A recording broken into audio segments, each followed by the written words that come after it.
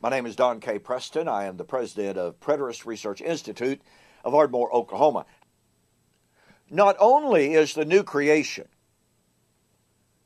the new heaven and the new earth, posited at the time of the destruction of Old Covenant Israel, the Jerusalem, and the temple, the resurrection is likewise posited as a direct, inseparable corollary as the fulfillment of God's Old Covenant promises made to Old Covenant Israel.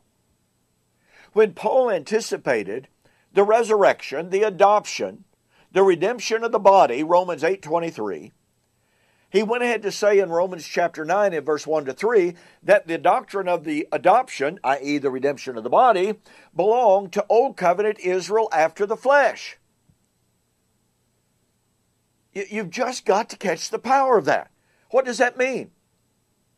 Well, it means that if God's promises, God's Old Covenant promises to Old Covenant Israel, to Old Covenant Israel after the flesh, if they have not been fulfilled, then Israel remains as God's covenant people.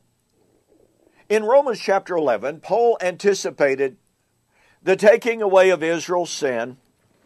And by the way, that time of Israel's salvation, he calls it life from the dead. Romans 11, verse 15.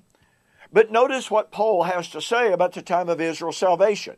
Now, the time of Israel's salvation is the time of the resurrection. Isaiah 25, 6 through 10. The day of Israel's salvation, the time when salvation to all of the nations would then be fully extended, come into full bloom, is the day of the resurrection. Now, watch this. Paul promised, All Israel shall be saved, as it is written. The deliverer will come out of Zion. He will turn away ungodliness from Jacob. Watch, for this is my covenant with them.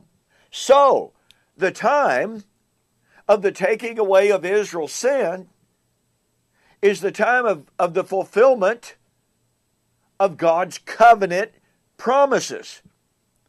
But the time of the taking away of Israel's sin is the time of the resurrection.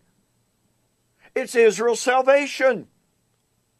Therefore, the time of the resurrection is the time of the fulfillment of God's covenant promises to old covenant Israel. Thus, once again, if the resurrection has not taken place, God's covenant, God's old covenant promises made to old covenant Israel, old covenant Israel after the flesh, remains valid. Israel remains God's covenant people. Now, I want to tell you, for the amillennialist and the postmillennialist, that's fatal. Pure and simple, that's fatal because both of those paradigms tell us, oh, well, you know, God was through with Israel at the cross. How could God be through with Israel at the cross if Messiah had not yet come to take away their sin and bring in resurrection in fulfillment of his promises to Israel? It doesn't work, folks. It just doesn't work. And so when as we are looking at the promise of the resurrection of 1 Corinthians 15, let us be reminded that Paul said the resurrection of 1 Corinthians 15 would be what? When Hosea 13, 15 or 14 would be fulfilled. That's, a, that's God's old covenant promise made to old covenant Israel. The resurrection of 1 Corinthians 15 would be when Isaiah 25, verse 8, would be fulfilled. Isaiah 25, an old covenant promise made to old covenant Israel. The resurrection of Daniel, oh, excuse me, of 1 Corinthians 15 would be when Daniel chapter 12 verse 2 would be fulfilled. Daniel chapter 12 verse 2 is an old covenant promise made to old covenant Israel after the flesh. You see how it goes? You cannot put the resurrection of 1 Corinthians 15 off into the future